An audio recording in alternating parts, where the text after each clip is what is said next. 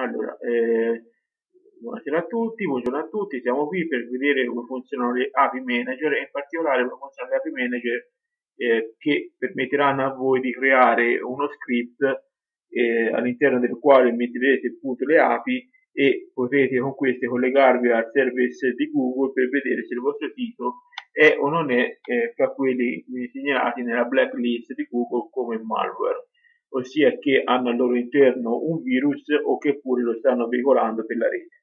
Questo Google non lo specifica mai in quanto difficilmente lo può sapere. E qui potete vedere c'è scritto Products and Service, ossia ci sono i vostri prodotti e i vostri servizi.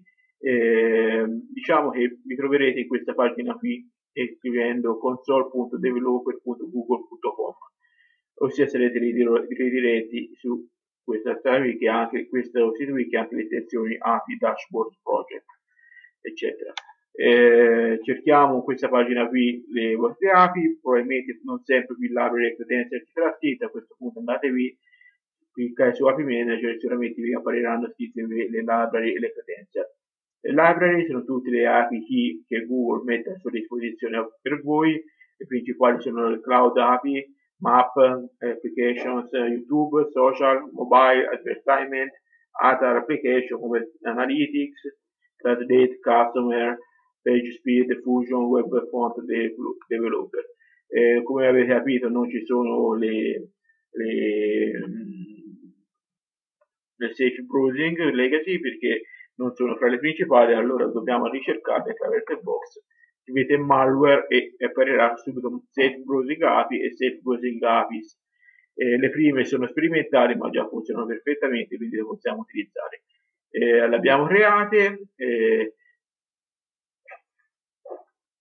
eccetera, eccetera. Anzi, ora chiedo scusa, prima bisognava creare il progetto, perché io ora ho un progetto già fatto, quindi create il progetto, eh, lo selezionate, il progetto appena creato, eh, chiamava progetto 5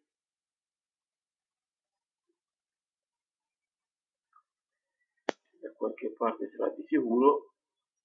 E questo qua infatti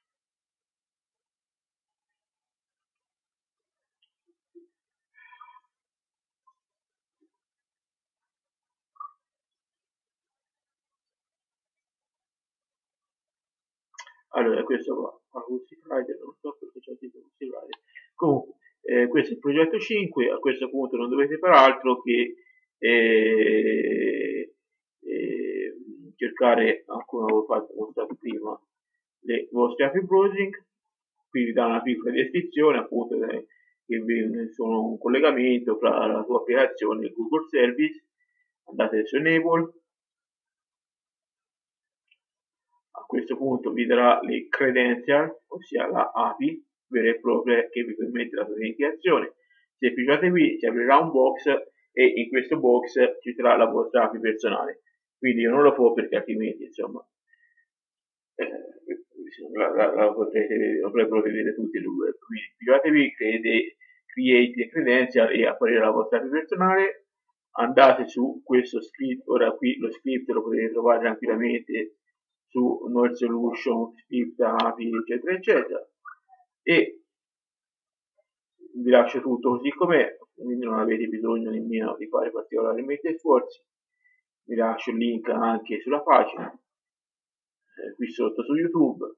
Quindi API key e ci mettete que quell'API che avete creato in credenzial protocollo versione attualmente 3.0 client è clear your app application version era 1.0 eh, interrogerete tramite questa query eh, Google, passandogli come URL quella che avete inserito e che volete controllare, la risposta sarà 204, quindi niente mal malware per Google, 200 malware per Google, eh, 401 non, non, trovato e 501 è il server sovraccarico e quindi il problema fra 5 minuti.